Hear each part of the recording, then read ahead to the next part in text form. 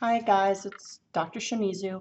I just wanted to give you guys a little orientation to where things are in the Blackboard space. I feel like we've been in class a while now and um, you should have a little bit of an idea about how to get on and how to get into your mastering.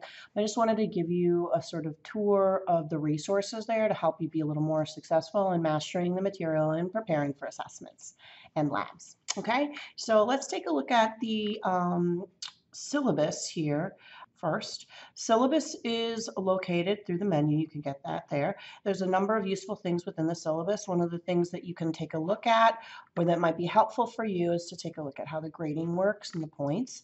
Um, you can figure out your grade using um, that scaling within the syllabus. The other thing that's here is my uh, contact information and you can also sign up for a Remind if you have not yet done that. The course outline is also accessible through the menu on the left here. The course outline gives you um, an idea week by week, day by day, what we're planning. It's not always going to happen, but what we're planning to cover in terms of textbook chapters, chapter material, and your mastering biology assignments in uh, parentheses. There's the points there. And um, just know that you can have a pop quiz or a notebook check at any point. And here's your labs as well as planned tests. Okay. Um, as far as chapter resources go, you can find that in the menu as well. The chapter resources, one of the sort of um, first things you see here is chapter outlines. It's easy to miss. It's right there though. If you click on chapter outlines, it brings you to my Google Drive and you can take a look at um, chapter outlines. The chapter outlines are useful in that they're a condensed um, version of the main points in each of the textbook chapters. You may find these helpful for reviewing or studying or adding to your existing notes.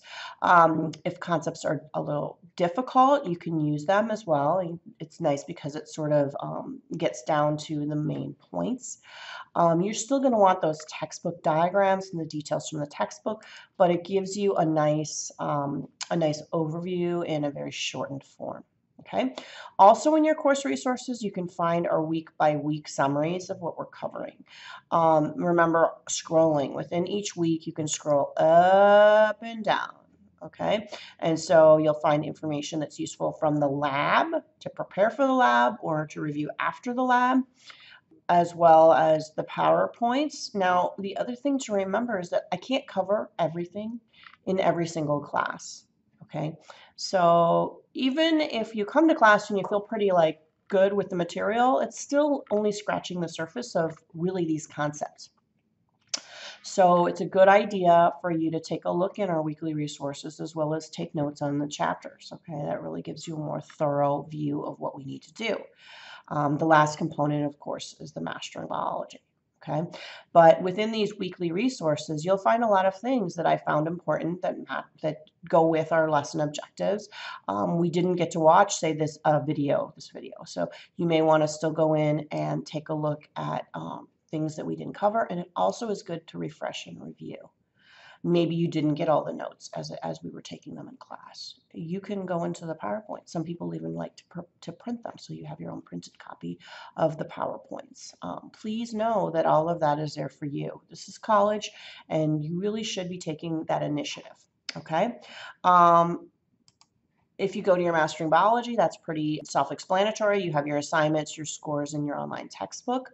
If you look at our week-by-week um, sort of summary, say for week five, it shows you what chapters we're covering, what's due in mastering, okay, what lab we will work on, and um, when the lab will be due, you would upload it to the Dropbox here. Okay, the last little area to explore, we'll quickly take a look at grades.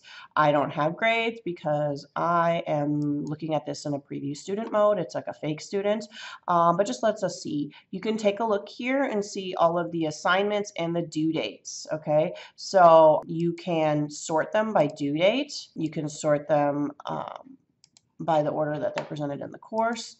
Um, you can see what's been graded already, what's coming due soon, and what you've submitted but has not yet been graded.